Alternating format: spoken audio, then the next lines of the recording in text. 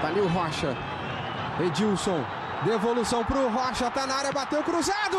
Gol!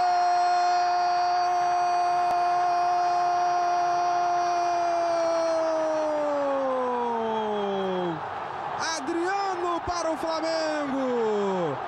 Oito minutos de jogo, segundo tempo. Adriano fazendo a festa da torcida do Flamengo no Maracanã.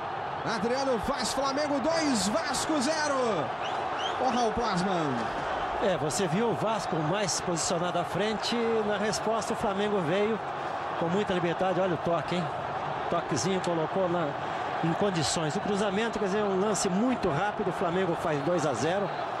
É claro que tem muito jogo pela frente, enquanto você revê o lance aí, a precisão do passe e a chegada do Adriano para conferir lá dentro. 2 a 0. Pois não. É, ok, Raul. É, o Vasco vai colocar Pedrinho já já em campo.